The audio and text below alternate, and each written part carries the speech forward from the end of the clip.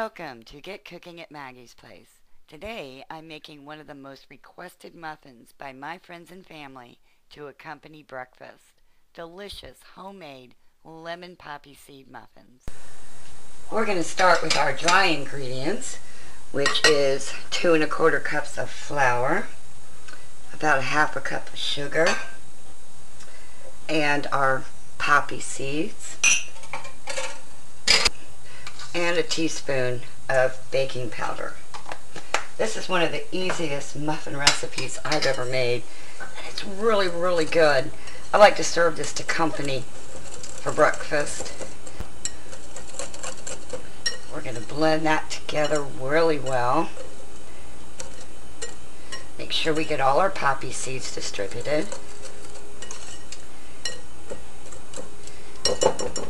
There, we'll set that aside and move on to our wet ingredients. For our wet ingredients, I have one egg that I'm just going to lightly whisk up. And I have a quarter cup of butter, a half a stick, our milk, sour cream,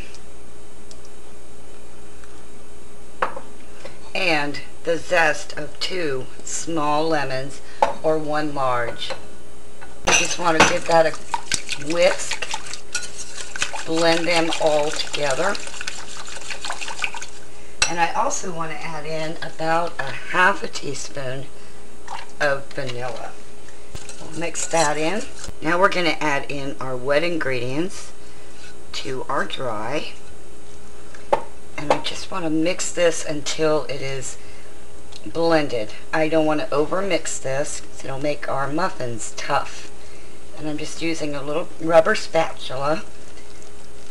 That's what I love about this. You don't have to pull out a mixer. You don't need a food processor. It's just really simple and the ingredients are so easy. And also a tip on these poppy seeds.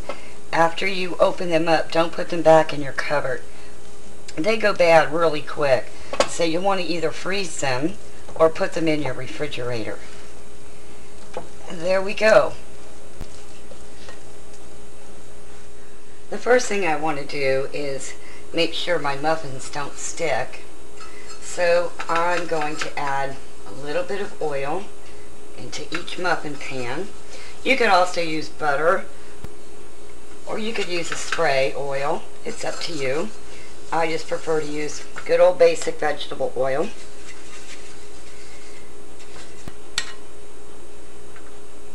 going to put our batter in and fill it almost to the top. I like to have my muffins to have a top on them because we are going to be putting a really nice sweet glaze over the top of this too.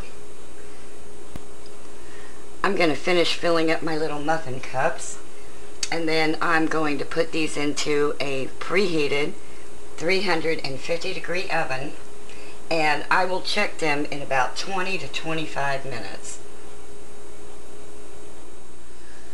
Our muffins are hot out of the oven and I'm letting them cool. And while they're cooling, I'm going to make the glaze that goes over the top of them.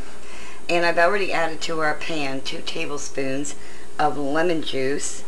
And I'm going to add a half a cup confectioner sugar. And I have this on low heat and I just want to dissolve the sugar. I also want to add some more lemon zest and I just love these handheld graters. It's so easy. You just rub the lemon across it and voila. Isn't that great? You want to be careful when you're doing this. You don't want to get the white part. You just want the pretty yellow part that has all the delicious lemon flavor and the oils in it really does well with this uh, glaze to put over your muffins. And another little trick too that I realized, I kept thinking, wow, this doesn't really grate a whole lot until turn it over. On the other side you have all that zest. Just stir this. It looks like we're getting the lumps from the sugar out. They're all melting in. And now we'll glaze our muffins. Aren't these just beautiful? They have a very light golden color on the top. The poppy seed is shining right through. And 25 minutes worked perfectly for 350 degrees. And I took a knife and I just poked it into one of them and it came out dry so I knew they were done.